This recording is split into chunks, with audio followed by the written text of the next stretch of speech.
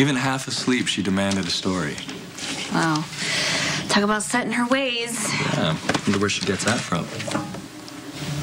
Quit looking at me. I'm looking at you because you're beautiful.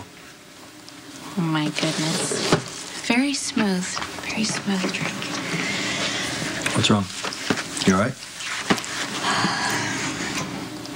Yeah. You bummed the party didn't go as planned?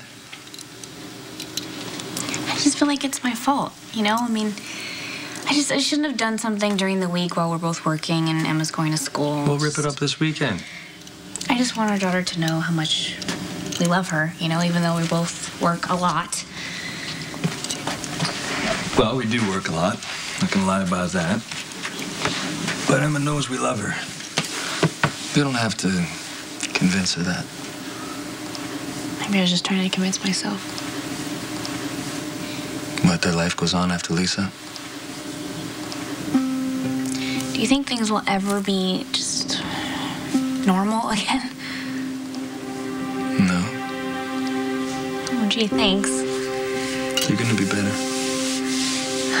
Good. I'm holding you to that. Okay.